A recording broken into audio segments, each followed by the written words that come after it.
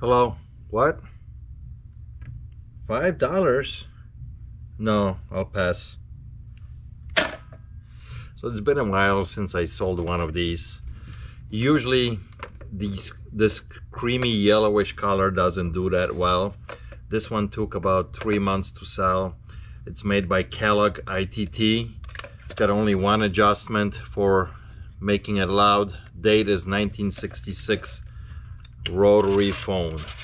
Now, when you have them black, they sell much better. If you find a red one, or even better, like a teal, greenish, bluish color, those sell the best. Those you can get close to 80 to 100 dollars. The black ones usually will bring about 40 to 50. So this is the least desirable color, but it sold. Uh, I got five bucks in it, sold for 25 plus $12 shipping. Can you hear me now?